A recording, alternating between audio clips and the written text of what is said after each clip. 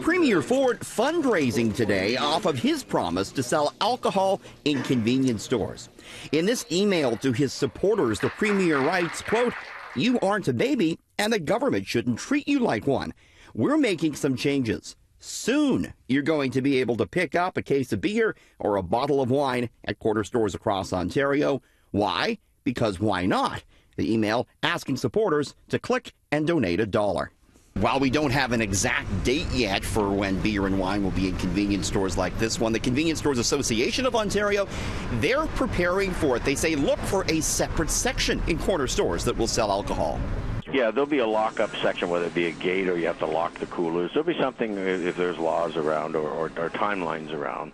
You know, uh, you know, if a store's open 24 hours a day and they can only sell till 11, we have to find a way to lock up those sections.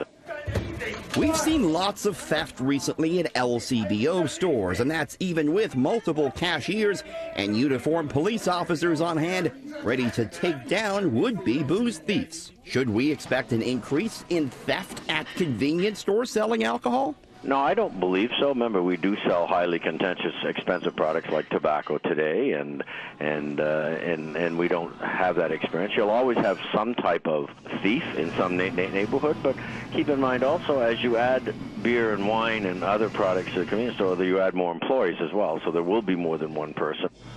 What about pricing? How much more will quarter store beer and wine cost us?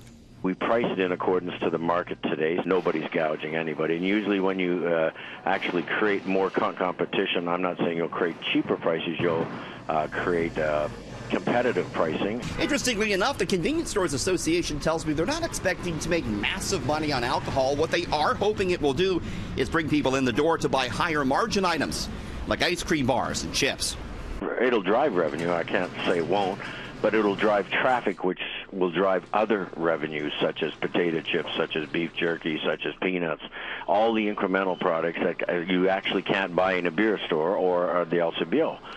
So you'll actually have millions of people now with the opportunity to stand in line at a convenience store and buy other products that go along with a, a one-stop shop or a snack that goes with it. Okay, so convenience stores are excited about it. The premier fundraising off of it, but there is one big catch to beer and wine in convenience stores. The current contract the government has with the brewers that own the beer store prohibits it and could trigger hundreds of millions of dollars in break fees the taxpayers would be on the hook for. Richard Southern City News.